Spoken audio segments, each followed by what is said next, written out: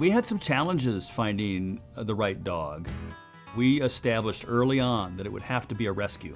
You've always got those animals that make themselves known to be different, unique from the others.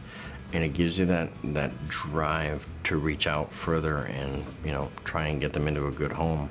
Because of the software we use, we're able to upload our animals to about 20 different websites um, all at one time. We also reach out to a lot of rescues. It, it makes a huge difference. We're telling another story there, which is that rescue dogs can do anything. A rescue dog can be a police dog, can be a, a guide dog for the blind, can do anything. And, and that's a great message.